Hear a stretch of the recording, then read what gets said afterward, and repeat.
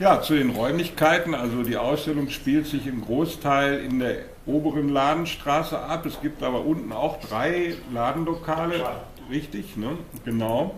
Wir haben eine Frankfurter Künstlergruppe, die hier vorne in einem in dem Pavillon eine eigene Kunstinstallation durchführt.